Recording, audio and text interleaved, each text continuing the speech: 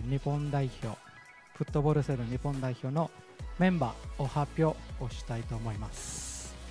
背番号17番になるのプラムワンの沖田俊也です。背番号14番になるのプラムワン山田樹。背番号26番になるプラムワンから炎上健介。背番号2番。プラムワンからあがた翔平。